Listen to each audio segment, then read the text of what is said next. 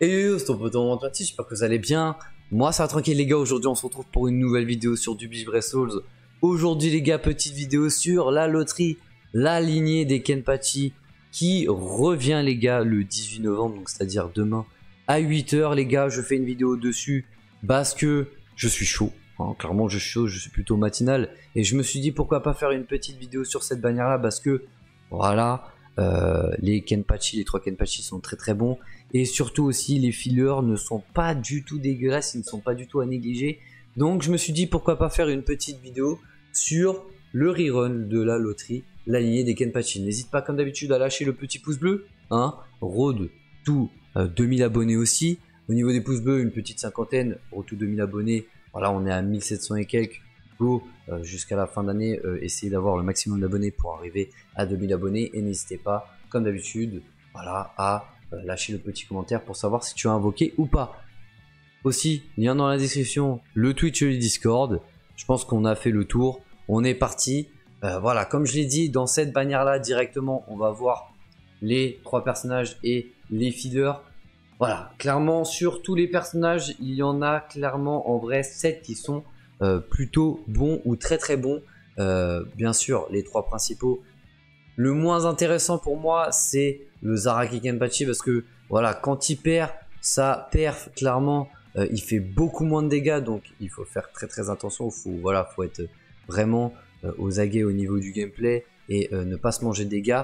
Par contre, le Asashiro et le Kuryuashiki que j'ai SP4 que j'utilise en bref battle, voilà, les deux sont excellents. Euh, bien sûr, le Zaraki est très très bon. Mais voilà, personnellement, euh, je préfère le Asashiro et le Kuryuashiki. Ensuite, le Ukitake, les gars. Le Ukitake, il est très très bon. J'ai bégayé. Le Ukitake, il est très très bon.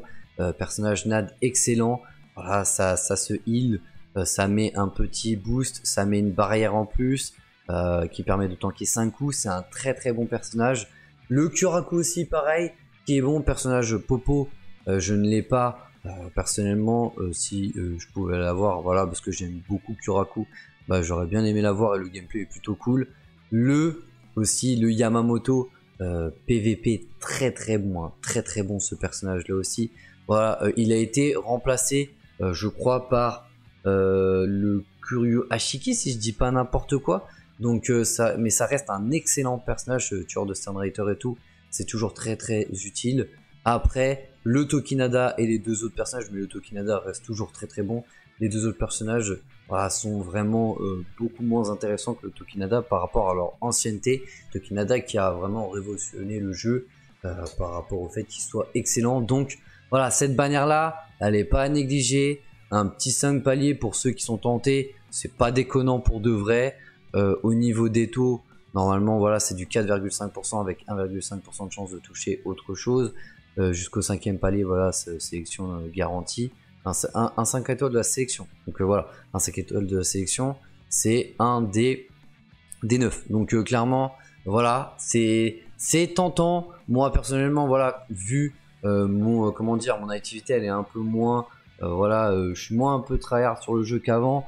Mais euh, pour ceux qui ont envie d'avancer et d'avoir de très très bons personnages, franchement, euh, ils sont pas négligés comme j'ai dit. Voilà le Kenpachi, donc le Zaraki Shinigami, capitaine tueur de Shinigami, temps de recharge d'attaque puissante moins de 12%, avec la petite perte attaque puissante renforcée plus 40% lorsque l'endurance est au maximum.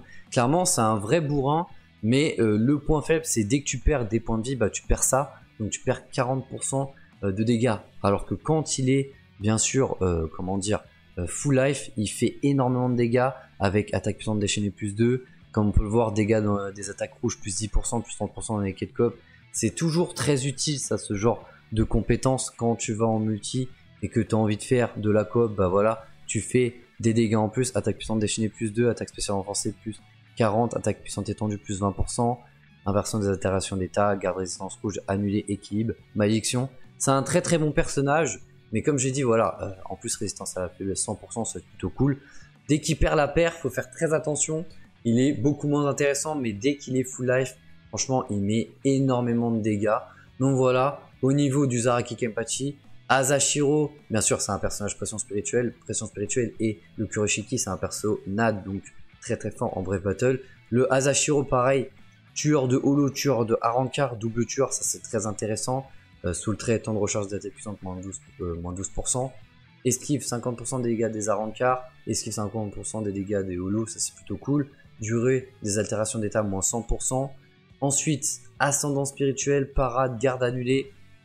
Si je dis pas n'importe quoi, il a de l'érosion aussi, hein, donc euh, il se heal de fou. Attaque puissante déchaînée plus 1, attaque spéciale déchaînée plus 1, donc petit bombardement. Attaque puissante renforcée plus 40%, attaque puissante étendue plus 20%.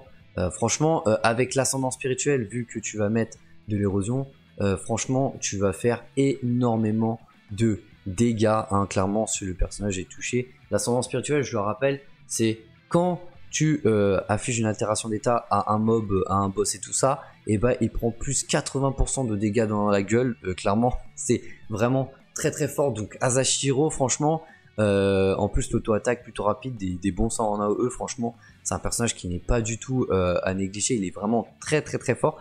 Je laisse P2. normalement, si vous traînez sur ma chaîne YouTube, vous allez voir les gameplays, tout ça, les petits showcases que j'ai fait sur les trois personnages. Vous allez voir clairement, ils datent, mais sont, enfin, ils datent un tout petit peu, mais ils sont vraiment très très bons. Ensuite, le Koryu Ashiki, je vous le dis, lui, il est fait pour les bref battles. Là, en ce moment, il est bonus en plus les, euh, comment s'appelle, dans euh, les raids. Et clairement, euh, je l'ai utilisé, pareil, dans les raids très très bon. Shinigami capitaine, tueur de capitaine, des capitaines dans le jeu, surtout en bref battle, il y en a énormément, donc c'est un très très bon killer. Dégâts subis, moins 20%. Au niveau du sous trait, pareil, toujours utile. Résistance à la faiblesse, 100%, rapidité, équilibre. Et là, franchement, les gars, c'est parti. Franchement, au niveau des compétences, pénétration d'invincibilité, battle seulement, extinction lorsqu'un ennemi est battu seulement. Donc, du coup, je crois qu'il annule normalement dès que un mec qui veut revive, euh, c'est mort. Il revive pas. Attaque normale renforcée, euh, Shinigami Take plus 20%, ça c'est cool. Euh, résistance aux dégâts plus 50% lorsque l'endurance est à la moitié. Clairement, c'est n'importe quoi. Et attaque normale plus 30% lorsque l'endurance est à moitié.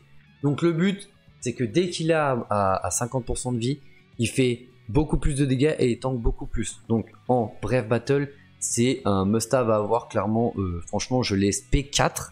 C'est un monstre. c'est un monstre. Clairement, vous pouvez monter lieutenant 3, voire plus facilement. C'est un personnage qui mérite d'avoir. D'ailleurs, tous les personnages ici méritent d'avoir un T20. Je les ai tous T20. Euh, donc voilà. Clairement, c'est un très très bon personnage à ne pas négliger.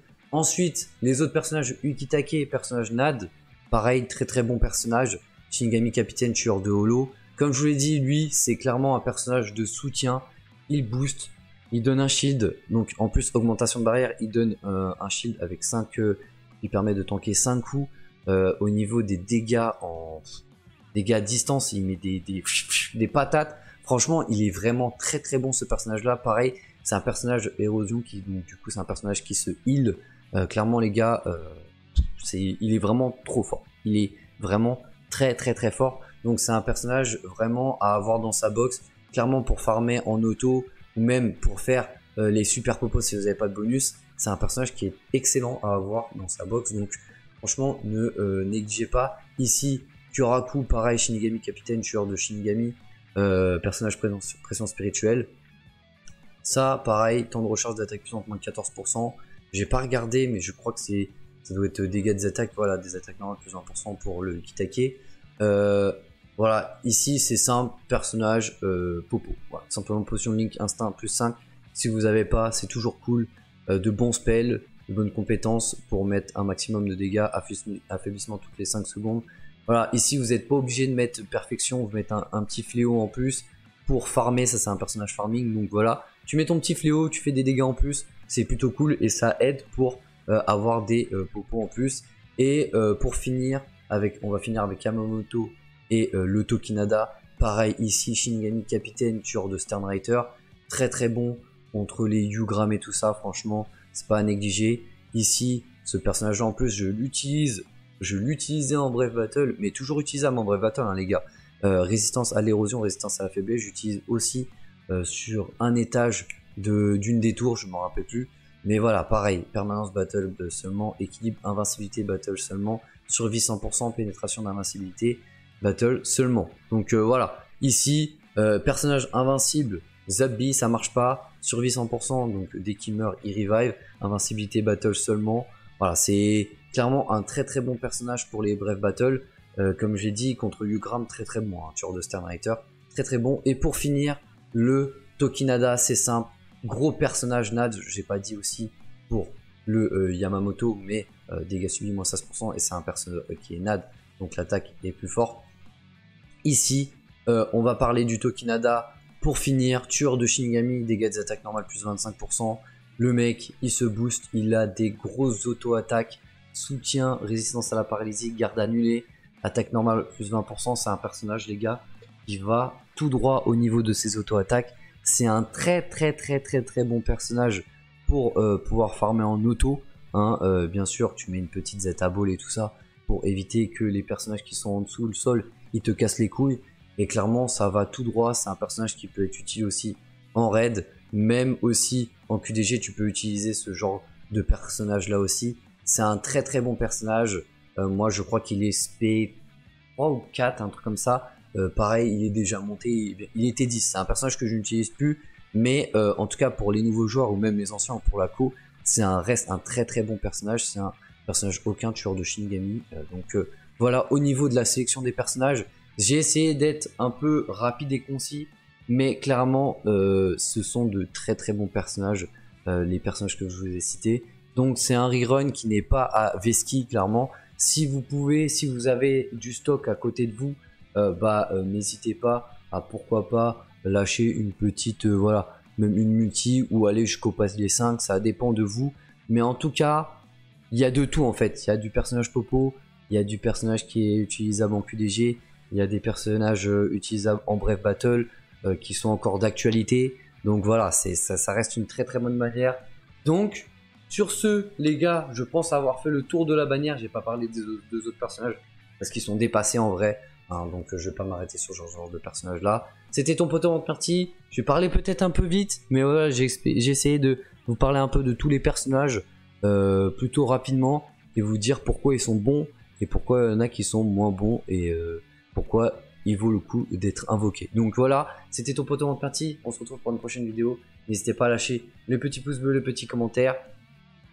À la prochaine. J'ai plus de voix. J'ai plus de voix. C'est la dernière vidéo de la journée. C'est la dernière vidéo de la journée.